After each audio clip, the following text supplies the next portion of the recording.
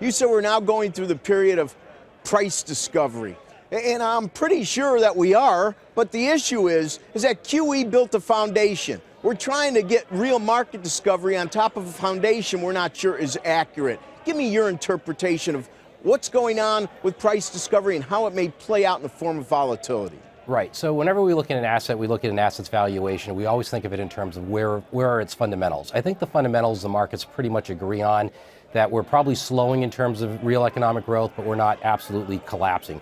So that's good. The problem, though, Rick, is that when we when we exit QE and we move into quantitative tightening, and you get higher volatility, what price is an investor willing to pay for an asset that's going to have more variability in that price over time? So, in other words, they, an investor needs to be compensated for that risk of higher volatility.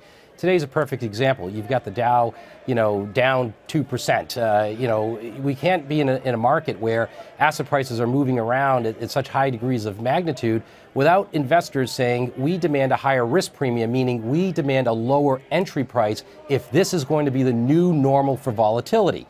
Now, I would argue that we're overshooting some of that volatility at this point, but the price discovery is we're trying to hone in on where exactly that point is.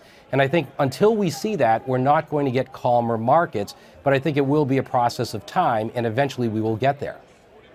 Yes, going from managed to actual price discovery. Now, another issue right. you've written about, you said it's this all or none investing mentality, in and out. Made me hungry. I kept thinking of In-N-Out Burger. Might be a great hamburger, but it's not a great investment strategy. Tell us what you mean. Right. So, so in other words, like cash has been the best asset in, in, in 2018.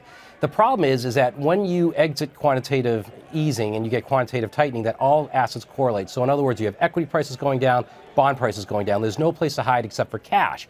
So if cash is your next best alternative for an investment, then you're either into an investment or you're out of it. So that's the all in, all out. So what that means is that if you can't find a hedge, a reasonable hedge to find uncorrelated assets, maybe owning some fixed income along with some equity, for example, portfolio diversification, you get this all in, all out, and you get these bigger swings, more exaggerated fluctuations in the market when cash is your hedge or cash is your alternative.